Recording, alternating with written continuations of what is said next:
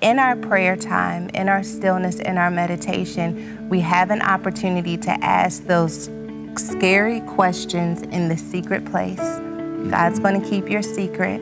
But you can say, I don't know why I'm doing this and I feel overwhelmed. And in that space, God gives us permission to, to change, to modify, or to show up differently. So that's the I think an incredible gift we get from even that soul awareness. I'm so excited to have my friends Touré and Sarah Roberts here. And uh, Touré has written a book called Balance, and it's about this exact topic. Uh, welcome, guys. It's so great to see you. Thank you. We're so glad to be here. So first, uh, how is your church going? I know this. You know, we've been in this long period of COVID, where a lot of churches, you know, took a big hit. I know my church did. Uh, you know, people obviously couldn't go to church for a long time. A lot of fear. Um, are you guys? How have you experienced that pastorally? Yeah, it's been uh, well. We've you know experienced our challenges, much like all the churches in the world did. Uh, but we did invest a lot of money in technology and production over the past several years, unbeknownst to us that that would be all that we would have to rely upon. Uh, so things have gone well. We had that investment in place. Uh, we went completely online, didn't go back to in-person services until Easter of this year, so we were out for two years, and um, it's been really, really good. We've noticed that the the church now went from local and then somewhat global to global and yeah. then somewhat local because of the, you know, the online reach. And so, so it, has gone good. Thank God we uh, we had those mechanisms in place.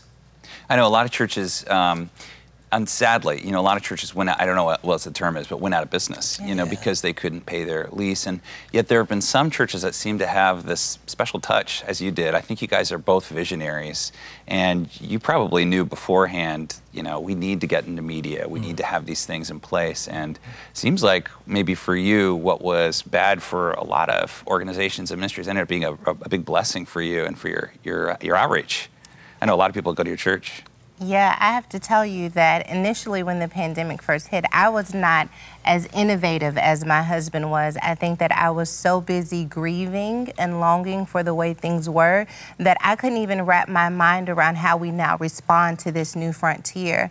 Thankfully, um, you know, with my husband's prayer and covering and guidance, I began to think outside of the box. And I think that that's what the gift of the pandemic really was. Yeah. Um, amidst all of the other struggles and grief that were connected to it, it was an opportunity to think outside of the box, not just for us as an organization, but how can we care care for our neighbors? How can we totally. pay more attention to the essential workers that we may just generally pass by?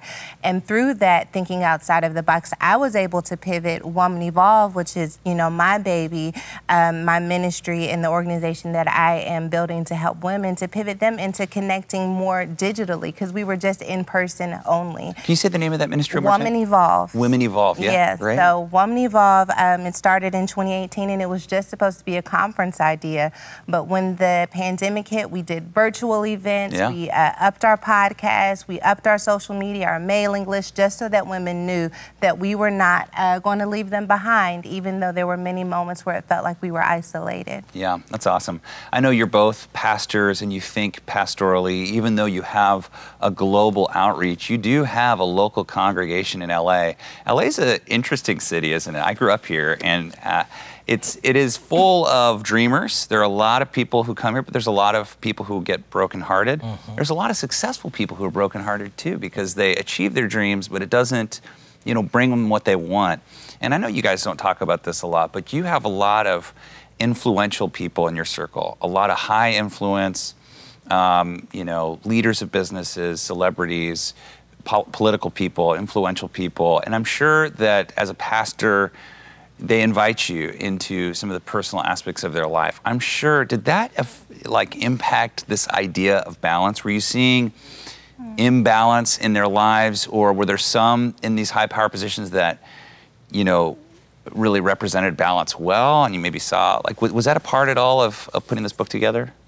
Yeah, I, I think uh, not not only was that the challenge for some of the people in the categories that you just mentioned, but it was a challenge for us. Yeah. You know, as we, as Sarah mentioned, you know, have the Woman Evolve tour and you know the books and some of the other things that we do in real estate and various things. I needed balance myself. Right. And uh, and I just believe that there's a solution to every challenge that we face. And, um, and, you know, the subtitle for balance is positioning yourself to do all things well. Yeah. And what it says about Jesus, as you know, is that it said that he did all things well. And Yeah. there was no one more busy Yeah, yeah, of than, course. than Jesus. And so I, I was up for the challenge. Yes, certainly to, to serve my community with that message, but also to serve myself.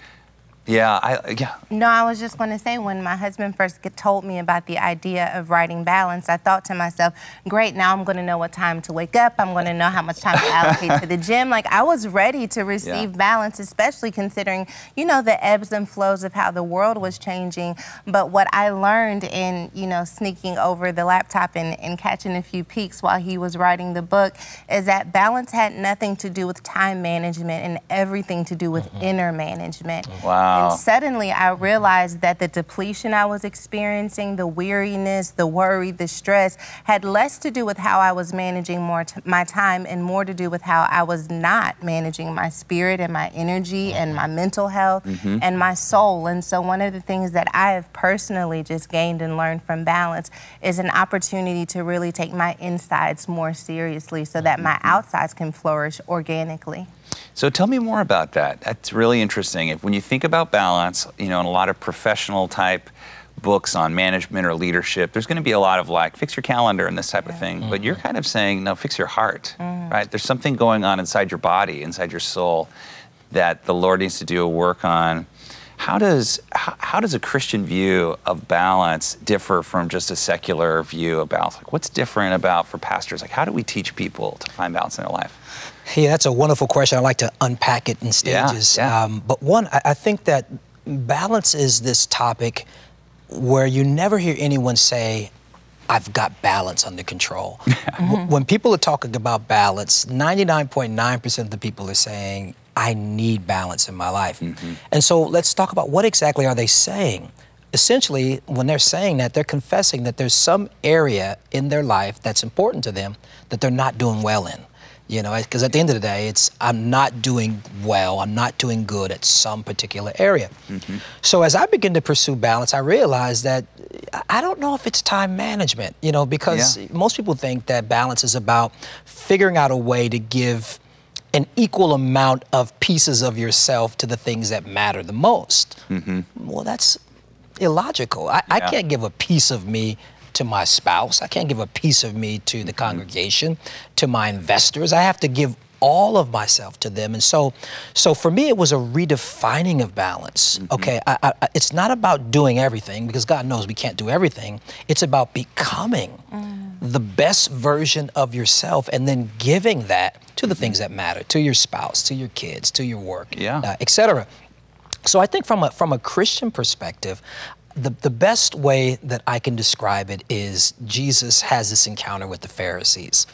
And they're accusing him. They're, you know, as they always did. Yeah, yeah, of course. They're accusing him, and they were accusing something that he was doing. Mm-hmm. And he said, "Oh no, no," and I'm paraphrasing. He says, "Oh no, I, I- I know that what I'm doing is right because I only do what I see my Father do." Mm-hmm. Now that's a profound statement. I only, I only do on earth Mm-hmm. what I see my Father do in heaven. Mm-hmm. So essentially, he was saying that I see myself, I see a version of myself in the heavenly realm, and I am aligning with that version of myself and living out my life here, there. Therefore, I'm winning. I'm doing the right thing.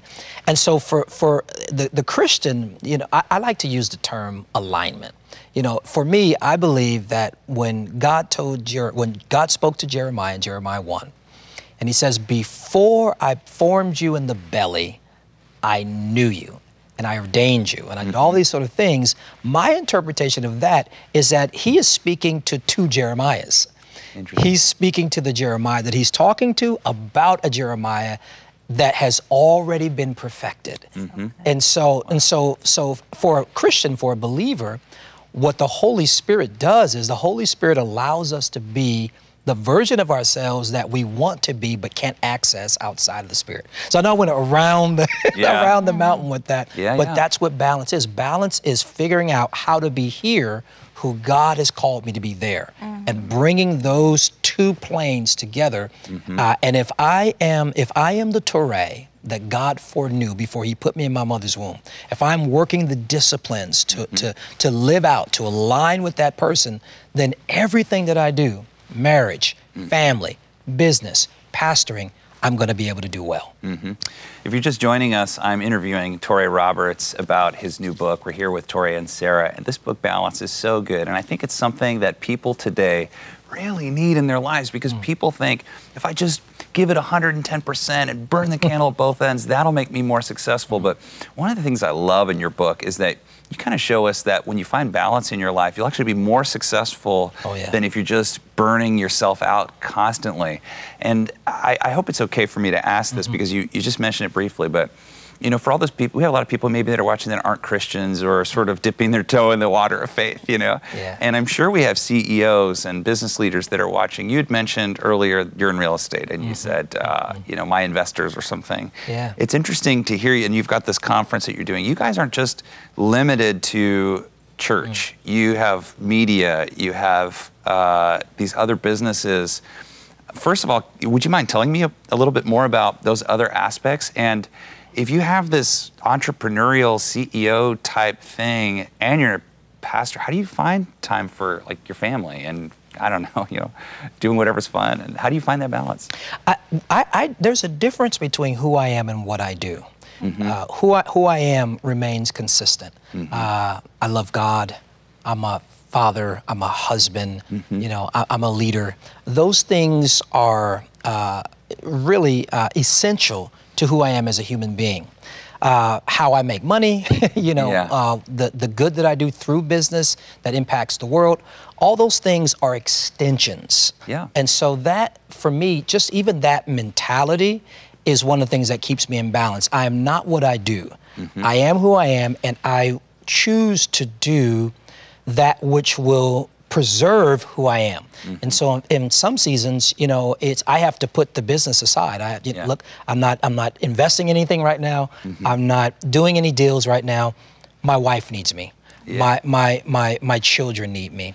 And so um, it, it is about sequence. You know, when I talk about balance, you know, you you you can do it all, just not all at the same time. Yeah. So being still enough to perceive what part of me is screaming for attention, what part of me uh, needs me the most, that stillness and the mm-hmm. clarity pertaining to that that comes in the stillness is one of the ways that we manage all that stuff. I, I hope I answered your question. I think I you did. no, no, you know, because it's it's interesting when because we know a lot. I know a lot of pastors, you know, and most pastors are very honed in on just their ministry, and there's nothing mm-hmm. wrong with that. Mm-hmm. But you guys are so you're so much broader in your vision for what's possible. And I'm sure there's a lot of crossover mm-hmm. between these worlds. I'm sure you learn a lot in the business world that works well for your ministry or vice mm-hmm. versa relationally you pastorally you know how to deal with people and that helps you you know when you're negotiating or mm-hmm. dealing with people um, i just think it's really interesting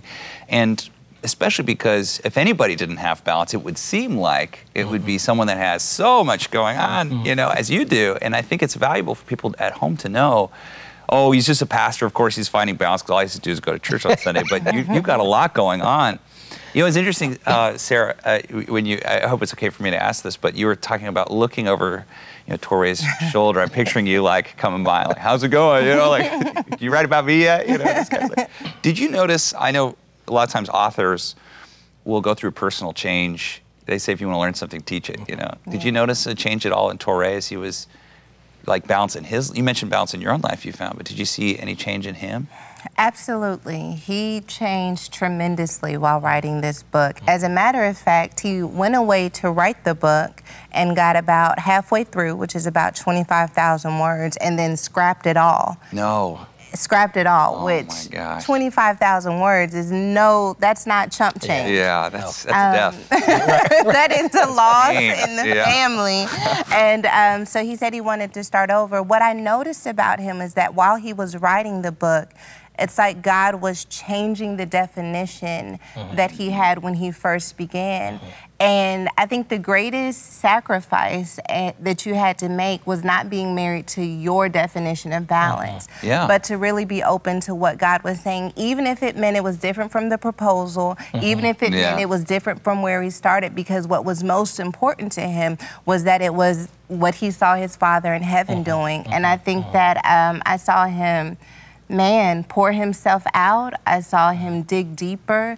And as a result of it, I don't believe that there could have been a better time for this book to have been written mm-hmm. because so many of us are straddling the fence of the old normal and the new normal. And is it okay to miss it? And how do I walk into this new phase of my life without uh, feeling uncertainty or insecurity? And yet, there is a way mm-hmm. for us to show up in our lives that doesn't make us feel inadequate or less than or mm-hmm. overwhelmed and yeah. stressed. Mm-hmm. And I feel like that's what I needed mm-hmm. more than anything. And um, I know that people are already being so blessed by that. Yeah. Mm. I know. Um, so, Pastor, I mean, I know there's a lot of people, we talked about CEOs and you know, influential people, but there is a certain type of person that works just as hard as they do, or even harder, and that's that single mom that has two jobs yeah. and has to take the bus. Does this book speak to them? What do you say to, to oh, yeah. a mom who says, you know, I'm in this horrible position. I didn't ever think I would get here. I didn't get to go to school or mm-hmm. college, and I'm working these jobs and I'm trying to take care of my kids. How does someone like that who feels totally trapped find balance in her life? You know, there's a chapter in the book called There's No Team in I. Mm-hmm. Oh yeah, and, turn it around. And obviously that's a that's a play on the popular yeah, saying great, there's no I in team. And I think that the the the challenge with all of us, particularly the single mom, is that no one gave her or whomever this would apply to permission to prioritize themselves. Mm-hmm. Uh, Self prioritization sounds like selfishness, sounds ungodly, or what have you. But when we look at the scripture, Jesus said, Love the Lord. When he's asked what the greatest commandment is, he says, Love the Lord your God with all your heart, mind, soul, and strength, and love your neighbor as you love yourself. Mm-hmm. The majority of the people don't recognize that sequence. They think that it is God, neighbor, self, but it is not. It is God, self neighbor. In fact, mm. you love your neighbor. The benchmark that qualifies how well you love your neighbor is how well you love yourself. Love your neighbor as you love yourself. And so I think that what they're going to find in this book, first and foremost, is permission to prioritize themselves, permission yeah. to say no. Uh, and not feel bad about it and not feel guilty about it. And they're going to learn that self prioritization is how you prioritize the other things that are in your life. Good. If the single mom is running and gunning and can't stop and won't stop mm-hmm. to ever pause, reflect, spend, you know, God time, alone time, self-care t- uh, time, then they're functioning under this false idea that they're actually helping their children, they're helping their husband, they're helping their church in yeah. many cases, but yeah. they're actually hurting it because they can't bring their best self to it. And so, so there's a lot for them, but but that self prioritization uh, and not being ashamed of doing so, I think is going to be a big that's takeaway. A big key, isn't it? I mean, I, that's really the thing, isn't it? There's so many. Uh, parents, moms who just get so into that rhythm of always mm-hmm. going, going, going that if I stop and I go to a movie or go to the spa or go on a date, mm-hmm. you know, or something like this, you feel like guilty. Oh, my kids need me. They didn't get to see me today. I'll do it tomorrow. And overcoming that shame is a big part of, of finding balance, mm-hmm. isn't it? It certainly is. You know, I was a single mom, and mm-hmm. I can remember trying to overcompensate and be two parents, even though I was just one. Yeah. And in taking care of my two children at the time, one of the things that I really had to remind myself is that I'll never be able to be two parents but I can be one really great parent. Oh, and great. in being one really great parent, I'm going to have to take time for myself so that I know what I'm feeding my children and not just mm-hmm. what I'm putting on the table, but what's in my heart, what's in my soul, because mm-hmm. at the end of the day, they're going to feed from the environment that I create.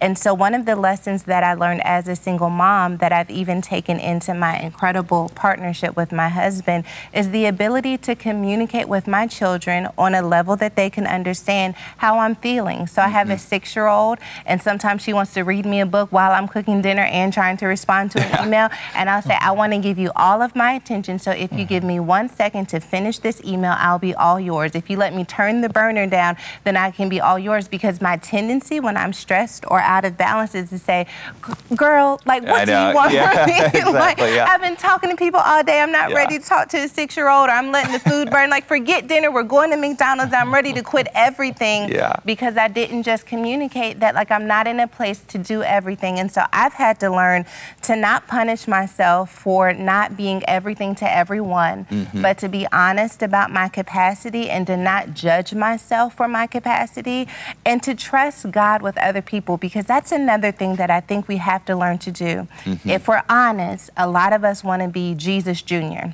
Yeah. I don't know if I can say that on TBN, but No, it's you been can. said You now. we, we want to be Je- Yeah. Jesus Jr. I want to be there for every single thing that's happened to you. I want to hear everything you have to say, and we just spread ourselves so thin. But even Jesus took time away. That's right. Even Jesus said, I need to breathe. And so while we're practicing being Jesus Jr., we might as well put on the full costume and go out into the wilderness to go out away from mm-hmm. our disciples and our friends and our followers and now say, God, Holy Spirit, this is what I need. This is where I am in need. So before I show back up to the multitudes, whatever your multitudes look like, you're full of the presence of the uh, presence of God and the presence of yourself. You've you've really lived this, and I, I, I'm sure there had to be times during that season of your life where you felt like I'm going to be stuck here for a long time, or you felt like I'm not, you know, I'm not a good mom. A thought came to me as you were talking and saying this, and I'm like, I think if you feel guilty about taking time for yourself, that's a pretty good indicator that you're probably a pretty good parent.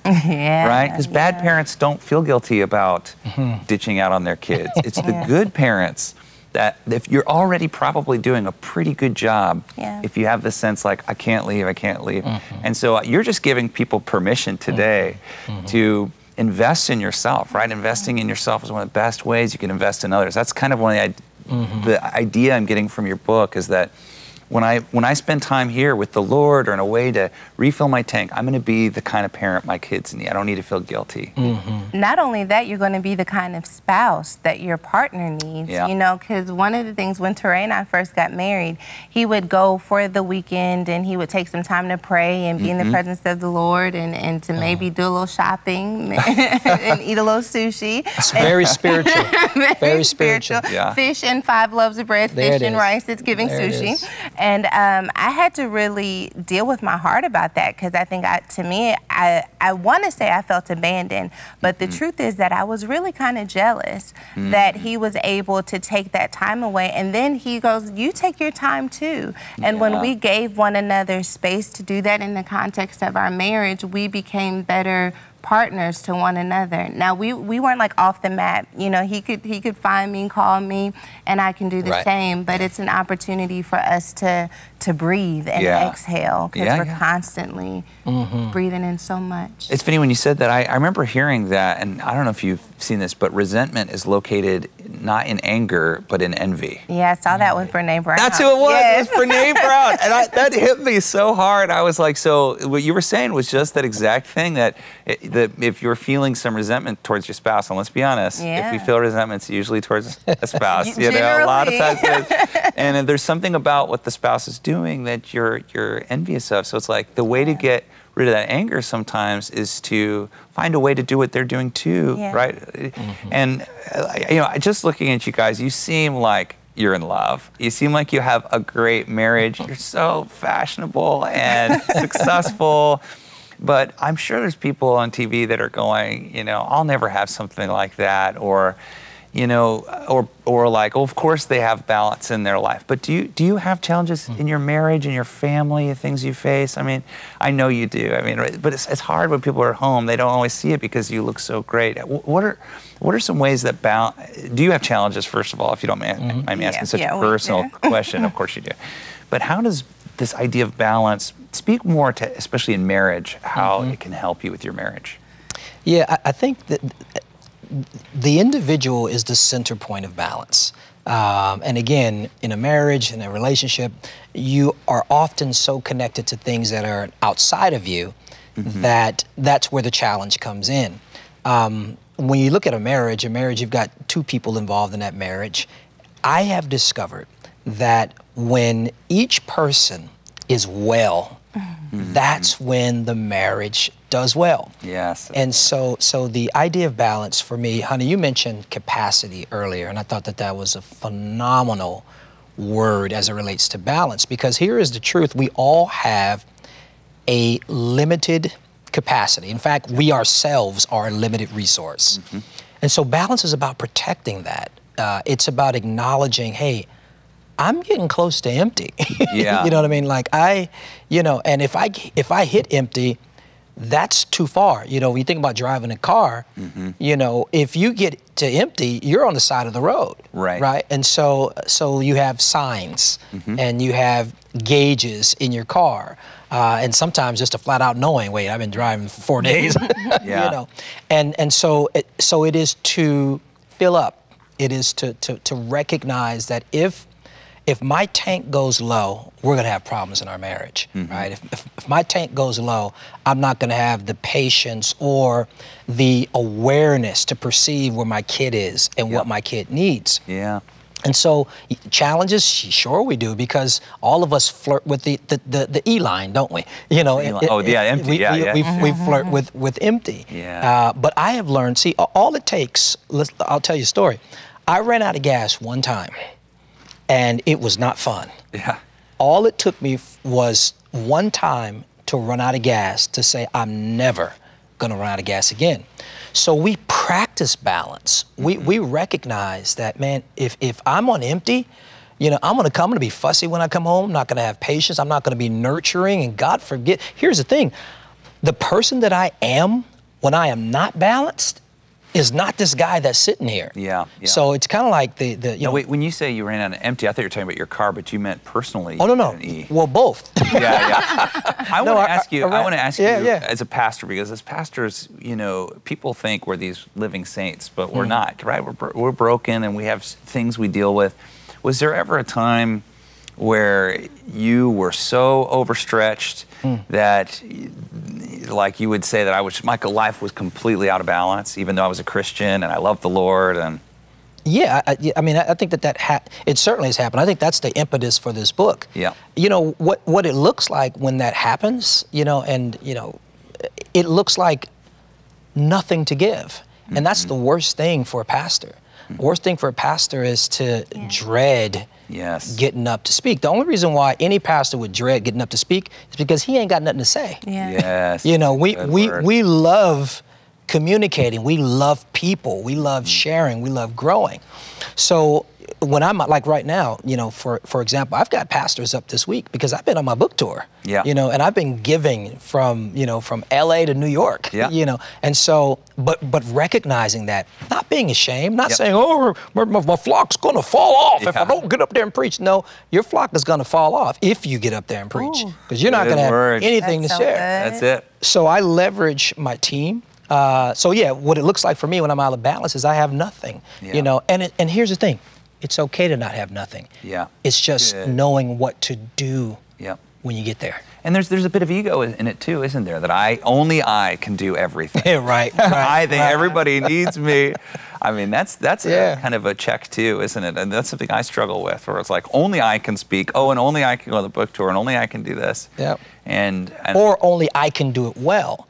Yeah. And and that's, a mistake. That's yeah. a mistake because here's the thing, when you get out of the way, mm-hmm. you'll realize that there are people on your team and in your staff that will crush what you think that you have to do. Mm. Or, you know, maybe it's not that. Maybe it's they may not crush it like you, mm-hmm. but you mm-hmm. need the rest. What's more valuable right now in the season is your rest. Mm-hmm. And so, yeah, ego gets in there, and uh, you know, I, I, have this this chapter in the book. Uh, it's called uh, "Balance After the Blow." It's powerful. It's one of the most powerful chapters. It's about regaining your equilibrium after some unexpected setback happens to you, death of a loved one, et cetera, et cetera. Yeah. And one of the points is going into what I call power save mode, energy save mode, where I am operating on fumes. And when I'm operating on fumes, my energy, my, my, uh, the best thing to call is energy, my strength yeah. is reduced. And so now I have to pause and be a strategic energy investor and delegate and, and do all these things. I, I just, this book, you know, I know we're talking about this book, but it's changing my life, and I Yep. wrote it. And it's oh yeah. No, I was just going to say, if I can chime in, you know, I uh, I co-pastor with my husband, but I don't speak every Sunday. Yeah. So I may not relate fully to the every Sunday pressure of having to get up and speak, but I do do think a lot of things at my house and in my home, and they're pretty daily. Yeah. And in doing those things, I've got a little ego when I start thinking I'm the only one who can do certain things. Like I'm the only one who can cook the dinner. Yep. I'm the only one who can do the girls' hair. I'm the only one who can do the homework. I have put this pressure on myself to be the only one who can do it. And what I am learning is that I do take pride in making an incredible meal for my family. I do take pride in the way I do the girls' hair and the homework and all of those things. But I've also learned that it is not the end of the world if we order in. It is not Yeah, the end of the world right. if they walk around and their hair is not brushed today. At the end of the day, sometimes I have to choose my wellness, my health over. Um, you know, trying to be super mom because right. there's an imaginary badge that comes with that. Sometimes you got to be willing to take the cape off. Listen, the, the most important person in your life is you. Now that seems crazy. It's like uh, it seems so unchristian, unspiritual, but it's not true. If you're not good, Yeah. Mm-hmm. God can't use you. Yeah. You know, if you're depleted, if you're, you know, uh, one of the chapters is about the five signs of imbalance, weariness is one of them. When you go from being tired to weary, you are on your way down. A lot of great leaders have fallen not because they were bad people, not because they were immoral people, it's because they were tired people. They were Wow. weary Yeah, people. right. So, so to steward me is is ministry. To steward me first. As goes me so goes the church so goes everything. And i think that that's something that uh, there's a paradigm shift that is needed you Yep. know if if i'm not well my church can't be well if right. i'm not well my business can't be well if i'm not well my marriage can't be well Mm-hmm. so pri- self-prioritization is everything That's great. If you're just joining us, I'm with Touré Roberts and Sarah Jake Roberts, and we're we're talking about this book Balance, and it is such a gift to so many people because so many of us are struggling to find balance. Whether you're a single mom or CEO of a company, all of us are pulling ourselves in these you know multiple directions. And I think it's going to be a gift for so many believers in, around the world. Pull out your phone right now and buy this book. It's going to make a huge difference in your life. When we come back, I'm going to talk to you guys both about some practical steps about how we can find balance in our spiritual life, in our business life, in our parental life, whatever it is we're doing. What are some real things we can do today that are going to make a huge impact right after this? I wasn't at my best. And deep down, I knew it. Something was missing, and I was determined to figure it out. The world had gotten loud, but I just kept on working, going, but not getting anywhere, feeling a longing for something, something more, something greater, something to manifest the best in my life. When I found the courage to stop, I found what I'd been missing. Balance is not a discipline, it's a destination, the place where your highest self lives. And when you find it, everything changes. Your creativity, your relational success, your profitability, your everything is waiting for you in balance. Come journey with me. The best you awaits you. If you're just joining us, we're talking to Touré Roberts and Sarah Jake, Jakes Roberts about the new book Balance, and I'm so excited about this book. You know, so many books are about like, you know, go, go, go, go, and I love the one of the core principles in this book that if you find balance, you're going to find more success, mm-hmm. not less. You care about that. I mean, you obviously you care about people's spiritual lives, but part of the formula is you get this right, you're going to get a lot of other things right mm-hmm. in your marriage, in your relational life, in your spiritual life, and in your business. Um, let's talk about some practical steps. What's something that like anybody today can do right now that would help them find you know better balance in their life? I I think the first step to balance is actually not a step, it's to stop. I, I have discovered that it takes more faith to stop than it does to go and to start something new. And the reason why it takes a lot of faith to stop is because most people believe that if they actually would stop, the world would come crumbling down overnight. They would be bankrupt, you know, they would be out of a job, that whole bit. But even, you know, our, our Lord taught us in the very beginning the principle of the Sabbath. And Sabbath doesn't mean rest. Rest is connected to Sabbath, but that mm. Hebrew word literally means to cease Interesting. to stop. Yeah. You know, and so so God right there in Genesis is teaching us a, a fundamental principle that it is actually okay to stop. And the one who set your universe in motion and set Yeah. everything that you're proud of in motion uh, can sustain it and maintain it while you take time to recreate yourself, right? And so, um, so I think the first step is to stop. Now, the reason why stopping is so important is because life is noisy. Yeah.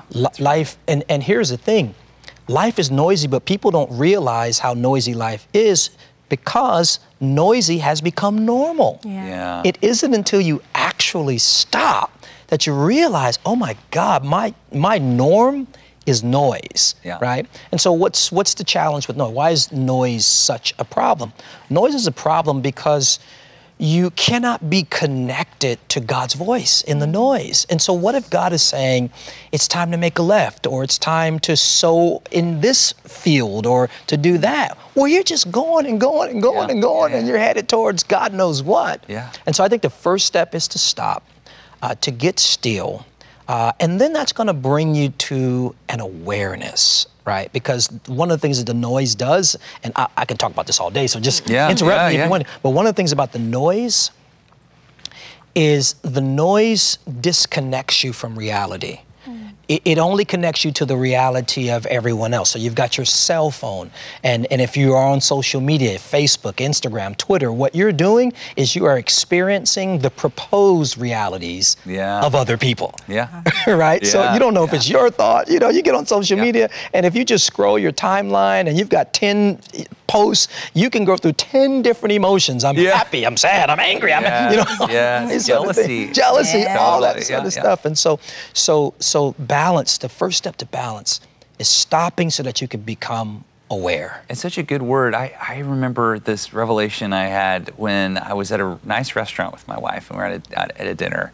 And I was looking at everybody was on their cell phone. A lot of people were on like this amazing restaurant with this mm-hmm. incredible chef and this amazing expensive experience. You know, you got a babysitter. And sometimes you see couples and they're both on their phones and, and there's nothing wrong with that. But then the funny thing is my wife got up to go to the bathroom. You know, it was the first thing I did. Yeah. I reached for my phone. It was like compulsive. Well, I couldn't just be there and eat the food. I couldn't just enjoy the space or the music or the design of the building or mm. pray or mm. just have a smile on face. I, I had this built like thing built into me. I'm a pastor, you know. Yeah, yeah. I'm supposed to be praying. And I don't feel guilty. Like I just and I like grabbed it as I'm judging these people. Right, right, I'm right. like kind of like looking at them with this critical eye. And then my wife gets up to go to the bathroom. And I'm like, boop. And I, I didn't have any. There wasn't like nobody was calling me. No. I opened my phone. I didn't know why. I didn't know what I was gonna do when I opened my phone. It was compulsive. Yeah. But is your thumb on autopilot where like you don't even know how you got on Instagram? Right. Like I went to check my message, Right. now I'm on Instagram. Totally. Or I went to check the email and now I'm doing this. No, the phone is and it's by design and that's the thing it's by design I, it, 13 years so my background is uh, business and technology Yeah. so i used to build data centers for fortune 100 companies Wow. and i had a guy come to me easy 15 16 years ago and he was trying to pitch me something i should have bought it actually but he was trying to pitch me this concept that was undergirded by the fact that everything was going to come to your phone you hmm. know and i'm like get out of here Whatever. You're. Yeah. like your phone no get out of Sure. here Yeah. and so the design, watch this, we are distracted by design.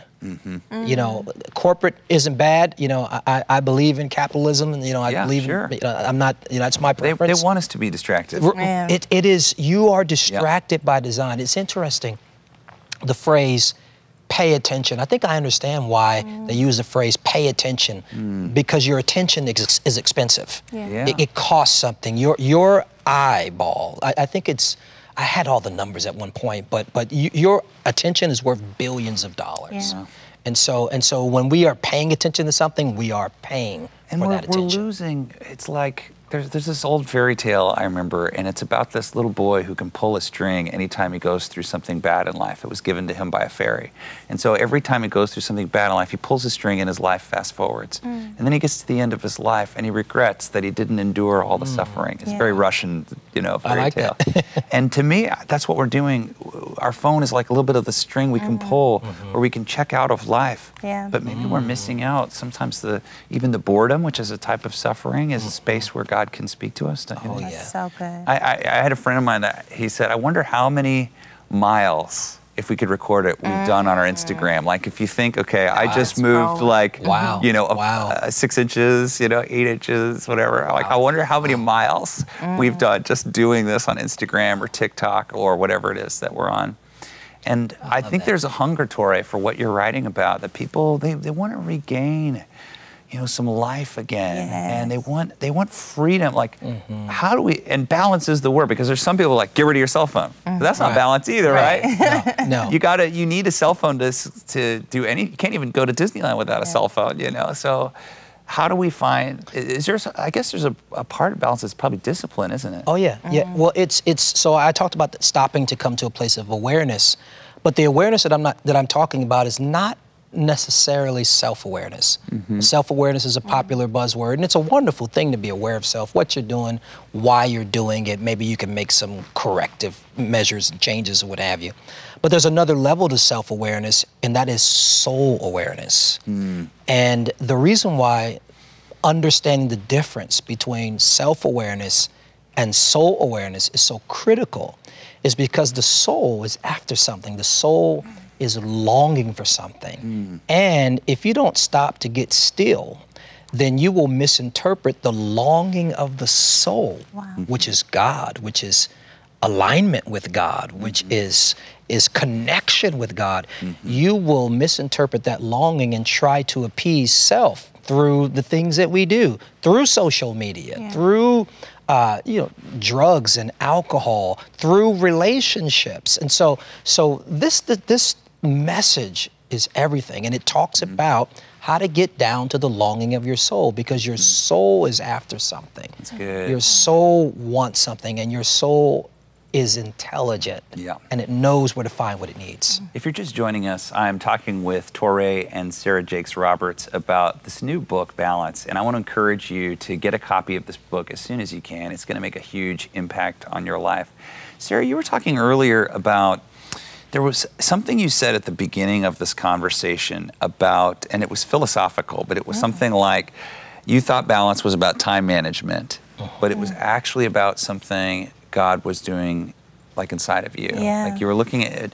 What did that look like practically in your life? Can you give an, like a story or an example where Sure. Uh, for me, it was during the pandemic, and I was trying to figure out how I was going to balance everything. The kids are now home full time. Yeah. You know, we've got dinner, we've got lunch, and I've got businesses, and I had a book that was due at the time. And I was trying to figure out the time management, and I really just felt like the presence of the Lord saying, like, you're stressed about all that you have to do, but there is only one thing that you need to do. I felt very much like Martha in that mm-hmm. moment. Mm. And I, I wasn't selecting that good thing that Mary selected. And when I took the time to really select that good thing, for me, honestly, I have found that good thing in waking up earlier because I'd Oh, end up getting to the end of the day thinking to myself, I just, there's not enough time in the day for me to take care of myself. There's not enough time in the day for me to pray and mm-hmm. meditate and breathe and enjoy a book or get a workout. Mm-hmm. And um, so there is time. I just, you know, I love sleeping like Jesus loves the church. like, that's. One of that's my great. second love. This is my first love. But That's sleeping is like my second love. But I started waking up earlier, about five o'clock in the morning. Wow. And in the stillness and quietness of the house, I had an opportunity to pray, meditate, work out, watch an episode of This Is Us, all before getting the girls up ready for their routine. And so I had to find the time to really check in with my soul mm-hmm. so that I could really determine what I could do for the day. Because there are some mornings I wake up and I'm like, I can't complete this day with all of these meetings and mm-hmm. expectations. Mm-hmm. Mm-hmm. So I could readjust and reshift early in the morning and make room for me to be present in the very life I was trying to build. And morning's a big one, isn't it? I mean, that's how you're kind of starting your day. I think there's this myth that there's a morning person and a night person, but you're just a morning person if you go to bed earlier. Yeah. I mean, you just got to change it. It's like changing a time zone. If, if there's no such thing as a morning person and a night person, then how do we travel? You know, you adjust. So, I think I think that that you're right. That that that beginning of the day, and and it's a way of investing in yourself too. That's kind of the theme here is not feeling guilty having a quiet time, not feeling guilty getting alone time, not getting away. As, as you said, Jesus, you said like Jesus loves the church. I thought you were going to say like Jesus loves napping because he does love Yeah, napping that is too. true, that is true. You remember? I mean, like you think about the story, uh, you know, where Jesus is Sleeping is through the asleep storm. in a storm. If you that know, is not a mother sleeping through kids yelling, I don't know what is. Good word. We don't have a, a high priest that doesn't know what it's like to be one of us. That's right. That's right. Yeah, he was totally just like us and faced what we face. And God didn't make us too busy, did he? Yeah. No. He didn't. He, he- and God wants to be with us, and He has a way. And maybe there's a faith element too. I think that sometimes, Yeah. especially if we're really in a corner, and financially especially, Yeah. that it takes a little faith to say, I'm going to dial back, even though there might be some financial loss, and trust that God's going to fill that gap. Do you think that's a good thing to do? It, it's absolutely that, that was me this week. Uh, I'm, I'm negotiating several uh, significant deals, uh, and I put them all on hold. And, and you know, and you, you know business, and you know particularly at the early stage of investing in something, time is of the essence. If you get in early and right, then you can secure a, um, a, a greater position in what you're in. And just this week, because I was pretty depleted from my book tour, there are things that, you know, fear could make me think it cost me a whole lot of money, but I put them off. You know, my rest is more important to me. I took one of those deals now because I'm not crazy. Yeah. no, no, I'm kidding. Sure, but, yeah. but, but I had capacity for that one. And the others I put off. And, and I just believe that God will never penalize you for prioritizing you. Yeah, it's He good. will never penalize you for getting good and well with Him. Because at the end of the day, here's one thing I think is important. Jeremiah 29 11. We all know it. For I know the plans I have for you, says the Lord, plans to prosper you and not to harm you, to give you a future and a hope. Well, we have to see that right. If we look at that and think that God is talking about bringing things into our lives, we missed it. Mm-hmm. Look at what he says. For I know the plans I have for you, mm. plans to prosper you mm. and not to harm you, to give you a future and hope. The focal point on that promise is not what he's going to bring to you. Yeah. The focal point of that promise is him prospering or making whole and well you. Yeah. And also, I think that passage is located to the people in exile, not the Yeah. people at home. Yeah. So they're dealing with a punishment, a judgment, something that went not go the way they thought it would hmm. be. They're in they're they're Hebrew people among the Babylonians. They're not a people. They're not of a home. They're exiled. They're mm-hmm. away from the promised land. And it's mm-hmm. and just before that, I think I, I hope I got this right. 'cause I, mm-hmm. I vaguely remember this, but I think God, God says to them something like. Basically, like bloom where you're planted. Yes. Like be uh-huh. here for now. Yes. I'm going to get you home, but for now, be here. It's okay. I've got this under control. Build cities. And then I know the plans I got for you. Yes. I got for you. I changed Yeah. it. No, no, plans I have for you. but that's a good word. It's yeah. so so often. I, it, it is. It's like the thing I'm learning from you during this interview is like the, the sense is is like God's not forcing us to be in a noisy place all the Mm-hmm. time. He's not forcing us to be on our cell phones all the time. He's not forcing that. Sometimes the the release of some of these things is going to open our hands for Yeah. maybe the gift He has for us. Kind of. Is that right? Progress comes from the place of rest. Good. Rest. Um, when I look at every significant thing that has happened to me in life, it was not from the place of stress, Yes. of worry, of hustle and bustle. Every significant dimension elevating thing that has happened to me happened when I found a way to rest in God. There's a chapter in the book called The Gift of Yeah. Rest, and that's what it's about. And so, rest is not something that happens from without you. Coming to that place of rest is what happens inside you. It's it's Philippians chapter four. You know, uh, don't be anxious about anything. Yeah. Prayer and supplication, make your request known to God, and the peace of God, which passes all understanding, will keep your heart and mind. And so, so peace and rest is the precursor for progress. Uh, good. yeah, it's so good. We're, you know, we're teaching this to our children too. So our Mm-hmm. babies range from 25 to 6 years old. Wow. And, you know, they've got the stresses of their life on their level. So Yeah. they've got a test, they've got homework, they've got marriages and college and job insecurities. And, you know, when they start to get anxious, we tell them to breathe, you know, take a Yeah. moment, Yeah. And to really allow your soul to come from a place of rest. Are you mm-hmm. going to? Ha, did you do the best that you could do? Mm-hmm. If you did the best that you could do, then we learn and grow from here. That's all we can do. And now our six-year-old, she's inspiring me because we'll be in the middle of dinner and you know we've got a large household so everyone's loud and making noise and she goes i'm going to go upstairs and have some me time and i'm like mm-hmm. little girl sit down but Yeah. also go take care of yourself Yeah. because there is something about giving them the tools now to help them understand life is going to be overwhelming. Mm-hmm. You're going to find moments where you feel imbalanced at 6, at mm-hmm. 19, at 12, and that's okay. That's a part of life, but you can come to a place within yourself where you're able to discover balance again. And she reemerges and she's all happy and ready mm-hmm. to play, but we're giving her permission to take a minute and unplug, even if it means unplugging from us, so that she can plug in as the best version of herself. Mm-hmm. That's Such a great point too. Is that if we don't mm-hmm. take care of ourselves, we're teaching our kids not to take Exactly. care of themselves. Yeah. Like the way we treat ourselves is how the kids are going to treat themselves. For sure, we're teaching them how to sacrifice themselves mm. on an altar that we can't even identify or label ourselves. Mm. Sometimes it's the altar of public opinion, sometimes it's the mm. altar of trying to make up for something we did in our past. And we wonder how these generational curses pass down from family to family to family.